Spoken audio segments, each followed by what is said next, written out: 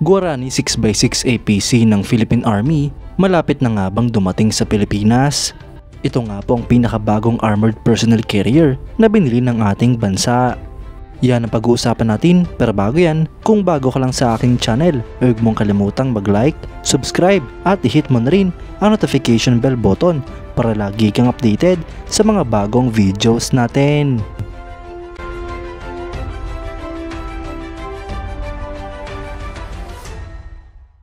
Upang i-improve ang mobility ng Philippine Army's Mechanized Infantry Division pati na ang pag-introduce ng bagong model na kakomplement at eventually papalit sa mga lumang assets ng Philippine Army. Sila nga po ay nagkaroon ng request para sa acquisition ng mga bagong fleet ng wheeled armored personnel carriers sa Department of National Defense. Ang request nga pong ito ay nakasama sa Horizon 2 Phase Priority Projects ng Revised Armed Forces of the Philippines Modernization Program. Ito nga po ay pinanglalang Wheeled Armored Personnel Carrier Acquisition Project para sa Philippine Army. Ang original na plano mga idol ay upgrade lamang ang mga existing fleet ng Cadillac Gauge V150 Commando at GKN Simba 4x4 Wheeled Armored Vehicles ng Philippine Army. Ngunit nirevise nga po ang planong ito na imbis i-upgrade na lamang ang mga existing fleet ay bumili na nga po ng mga bagong armored personnel carriers. Ang end user nga po ng proyektong ito ay ang Philippine Army Armor Division kung saan makakatanggap sila ng 28 units. Ang proyekto nga pong ito ay may budget na mahigit sa 2 billion pesos. Ang acquisition mode mga idol ay gagawin sa pamamagitan ng government-to-government procurement kasama ang Israeli Ministry of Defense. Habang ang pondo naman ay mula sa General Appropriations Act starting fiscal year 2020. Ang SARO mga idol o Special Allotment Release Order ay nilabas noong October 21, 2020 na nagkakalaga ng mahigit sa 330 million pesos. Ito nga po ay para sa 15% initial payment.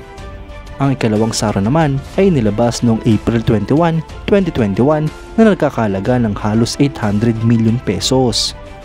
Ang winning proponent nga po sa proyekto mga idol ay ang Elbit Systems Land ng Israel kung saan sila nga po ay magdi-deliver ng 28 units ng Iveco Guarani 6x6 wheeled armored personnel carriers. Ang bawat isa nga po dito mga idol ay mounted ng manned turret na armado ng 12.7mm heavy machine gun at 40mm automatic grenade launcher. At meron pa nga pong option mga idol na equip ang mga ito ng remote controlled weapon station kasama ang 12.7mm heavy machine gun. Ayon nga po sa delivery plan mga idol ay magsisimula nga po ang delivery noong taong 2022 at makukumpleto ito ngayong taong 2023. Kaya't ibig sabihin nito mga idol ay malapit na nga pong dumating sa ating bansa at makumpleto ang mga bagong armored personnel carrier ng Philippine Army. Ang Guarani mga idol ay isang 6x6 armored personnel carrier na dinevelop ng Iveco at Brazilian Army bilang parte ng URTO 3 Modernization Program na layuning palitan ang lahat ng EE-11 Uro 2 sa taong 2015. Ito nga po ay may bigat na 16.7 tons habang 6.9 meters, width na 2.7 meters at height na 2.34 meters. Ang crew naman nga po nito mga idol ay tatlo habang may capacity naman nga po ito hanggang sa walong pasahero. Ang makina nito mga idol ay Iveco Cursor 9 diesel engine na nagpo-produce ng 383 horsepower. Ang suspension naman ay hydro-pneumatic. Ito nga po ay may operational range na 600 kilometers at may maximum speed na 110 km per hour. Mga idol kapag dumating na nga po sa ating bansa ngayong taon, ang mga Guarani 6x6 APC ay siguradong malaki nga po ang may tutulong nito sa Philippine Army. Dahil ang APC nga po mga idol ang ginagamit ng ating bansa upang ligtas na may pasok at mailabas ang ating mga personnel sa mga labanan. Nagagamit nga po ito ng Philippine Army mga idol upang i-transport ang ating tropa ng ligtas. Kaya't sigurado nga pong dadagdagan pa ng Philippine Army ang mga binili nilang mga bagong APC. Dahil kulang na kulang nga po ang 28 units mga idol sa dinami-dami ng mga lumang APC ng ating bansa na dapat nang palitan.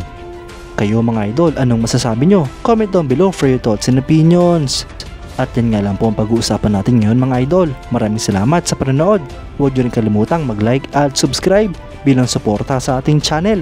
Mabuhay kayo mga idol!